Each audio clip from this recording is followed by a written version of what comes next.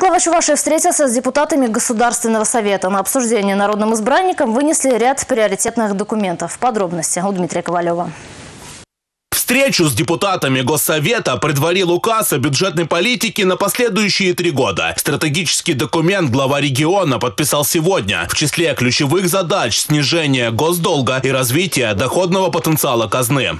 Мы сейчас работаем уже над параметрами бюджета, поэтому обращаю ваше внимание, указ надо посмотреть по своим направлениям, кто является депутатом по территориальному принципу, по отраслевому принципу, по партийному принципу.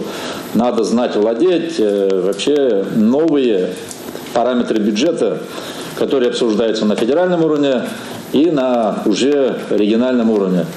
Мы с вами эффективно и ответственно управляли общественными финансами и будем управлять, управлять не наращивая долг, в общем, соблюдая баланс интересов.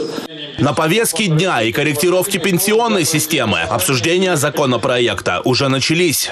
Люди, понимающие, относятся, но есть отдельные провокаторы, всегда они раскручивают, политизируют эту тему. Национальная идея президента Российской Федерации провозглашена – это активное долголетие. Вот вы тоже, как бы сказать, являетесь очевидцами. В трудовых коллективах мы обсуждали. Я тоже задавал простые вопросы. Кто хочет жить или желает жить э, более 100 лет? Многие меня поддерживали.